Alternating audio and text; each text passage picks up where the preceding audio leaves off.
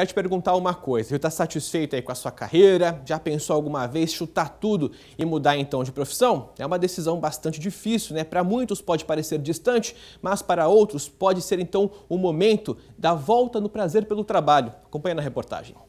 Quando ir para o trabalho se torna um fardo ou aquela oportunidade não aparece, o jeito é arriscar o novo. Foi o que a Mariana fez. Ela decidiu sair da rotina do hospital para o universo da fotografia. Agora só restam as lembranças da antiga profissão.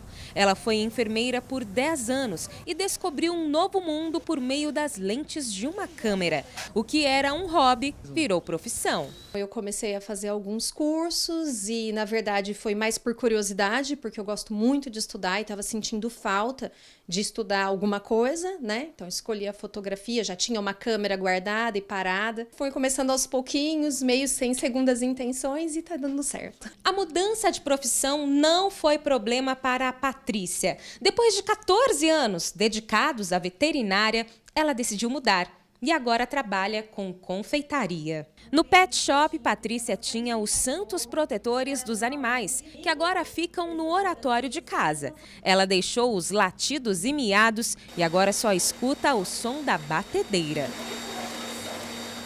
Eu sempre gostei de cozinhar, aí eu falei assim, não, pera, vamos ver alguma coisa nessa área, né?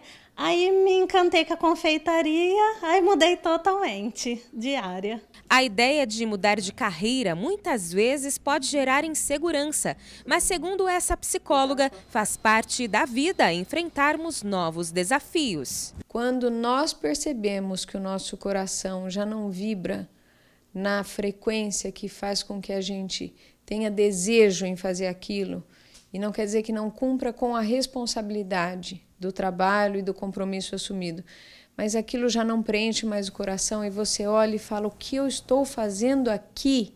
Aí talvez essa seja a hora.